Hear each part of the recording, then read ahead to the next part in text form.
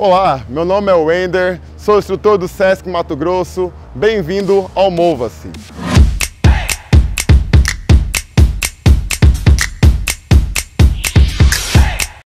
Eu trouxe alguns exercícios de alongamentos para você que pensa em se preparar para uma corrida. Iremos fazer alguns alongamentos dinâmicos e estáticos que podem ser feitos antes e depois da corrida. O ideal é que você comece a corrida com alguns alongamentos dinâmicos e no final termina com alguns alongamentos estáticos. Os alongamentos dinâmicos para te preparar para a corrida e os alongamentos estáticos para promover um alívio da tensão muscular.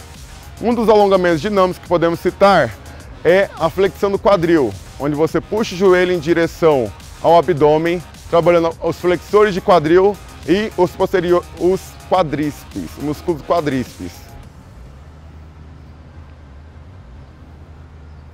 Você pode estar fazendo esse exercício de 20, de 20 segundos até 40 segundos, um minuto.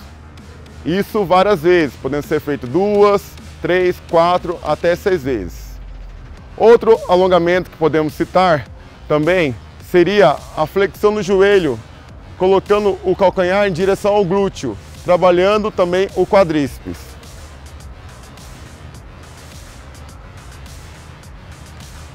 Podendo ser realizado tanto da parte direita quanto da parte esquerda.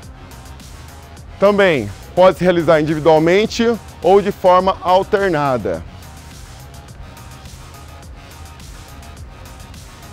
Ok? Outro exercício que trabalha a região do tronco, como também do abdômen, seria as rotações, onde você gira para a direita, tanto para a direita quanto para a esquerda. Os braços abertos, ombros relaxados, gira o tronco acompanhando com a ponta do pé. Ok, esse exercício também você pode estar fazendo 10 giros, 20 giros no máximo.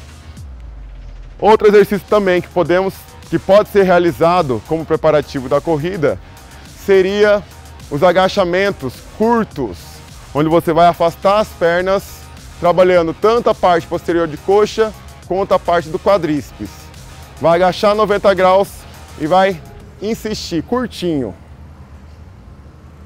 Braços relaxados, alongados à frente, só para manter o equilíbrio. E volta. Pode insistir duas ou três vezes e depois partir para a próxima.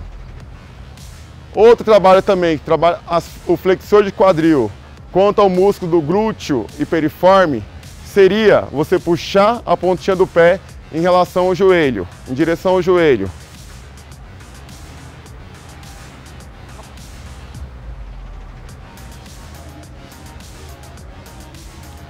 Isso pode ser realizado várias vezes, de 20 a 30 repetições.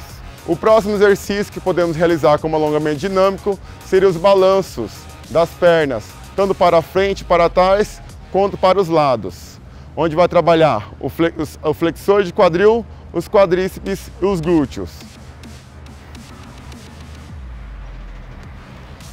Para frente e também para os lados. Deixa o braço solto e empurra. Esses foram alguns exemplos de alongamentos dinâmicos para vocês que estão se preparando para uma corrida. Espero que vocês tenham gostado e até o próximo Mova-se!